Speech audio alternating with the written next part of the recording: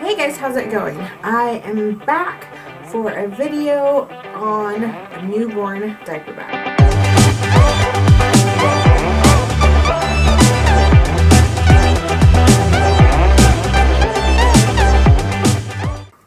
First time here, please like and subscribe and comment down below so we know who you are. Let us know if this video helped you. Okay guys, so let's dive right in. First of all, I wanted to show you guys my diaper bag. I kind of hinted at it before, but let's get down and dirty with the diaper bag. This is my diaper bag. It is not a Fawn Design diaper bag. I looked into those. I really wanted one, but I couldn't afford the $160 price tag that comes along with them. So this is a Miss Fong diaper bag. I will link it down below. I got it on Amazon. It looks just like the Fawn Design diaper bag and actually while I was at CVX Live, I took this with me to get kind of used to hauling it around and somebody thought it was a Fawn Design. So $35 price tag definitely warrants the buy. So let's dive in and see what I have in here for my newborn diaper bag. So in my front zipper, I just have kind of my stuff. Right now it's got some cash and receipts. Yeah, so all of that fun stuff from the holidays. And then in this pocket is usually where I throw my keys when I'm going into the store when I'm driving. My phone is in here. Papers for Zane from the doctor's office and that stuff. And then, of course, the two important things when you are going out, especially in the winter with a newborn baby, are hand sanitizer and hand sanitizer. Always needed you maybe think that you're fine, but a thousand people that touch everything else while you're out are not fine. And then a pen.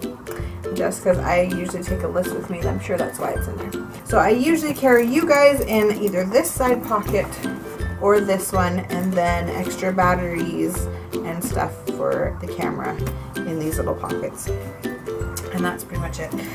Let's get into the inside. First thing is this little pouch that I got from Walmart. There was two pouches with it and it was $3 and I just use this to carry stuff for me. We have pad, my Colace stool softener, and ibuprofen for pain of postpartum. Um, I'm not taking a lot of this anymore, but I keep it with me just in case I need. And like I said, I haven't taken this out for a little while. Um, next, can of formula because we had issues with the breastfeeding. We are now strictly formula. I have my Pampers little tote. I got this out of the Amazon Baby Registry box. It was a freebie. I'll link that up in the corner right here so you can get to that vlog and see how to get your own free Amazon baby box. So in here, I actually just have some diapers. Zane is still in the first two weeks of his circumcision, so we have some Vaseline and some triple antibiotic for him. And I have an extra thing of the freebie Honest Wipes. And a changing mat. I actually went to Walmart once without this changing mat since I've had Zane. I will never go without this again. This came with the diaper bag. I was like, oh, I probably don't need it. I didn't really use it much with my first two kids. Yeah, I will not be leaving home without this. Wipes, extra wipes, because you can never have too many wipes. Little rattle toy from Grandma's Christmas. Bottle, empty, ready to go.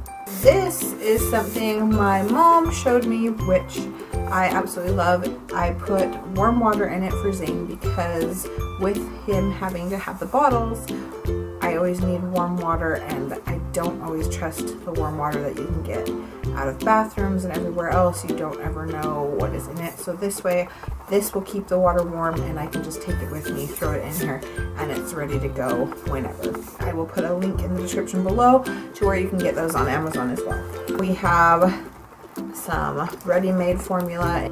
I have these, which you guys told me were great for keeping diapers in so they didn't smell. They're like the little doggy poo bags, but for diapers. So that is just in there. I have a burp cloth. This, this is the last thing. This is just like my have everything in case of emergency bag for Zane. It's got an extra hand sanitizer, got some infant pain reliever, some gas drops, baby shampoo, and lotion, and some more lotion and shampoo.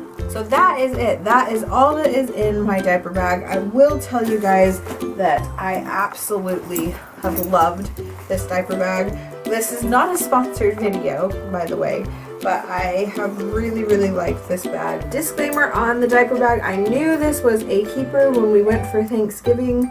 Zane was on his bili light. Um, I had just been informed that I needed to be breast pumping, so I was breastfeeding, pumping, and taking formula. And we had the bili light stuff, and I was still postpartum and had to have the peri bottle and all of that fun stuff to go with me to the bathroom. It held all of that in this bag. So for me, that's totally worth it. Says it is definitely big enough to carry anything that you could throw at it.